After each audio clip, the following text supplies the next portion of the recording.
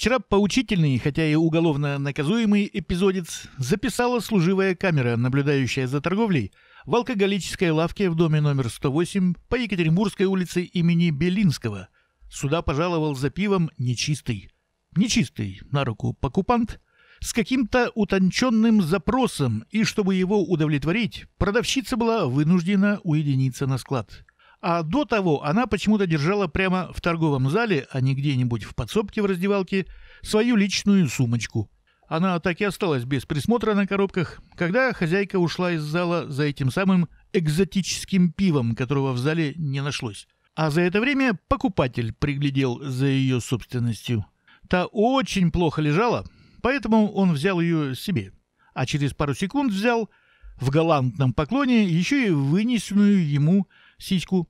Тут же ее откупорил и засосал, не выходя, обмыв, так сказать, удачный заход. Девушка таким образом лишилась телефона, ключей от квартиры, кошелька с деньгами и, собственно, сумки. Все это она перечислила в заявлении, по которому покупателя пива теперь ищут сотрудники пятого отдела полиции, вооруженные вот этим видео.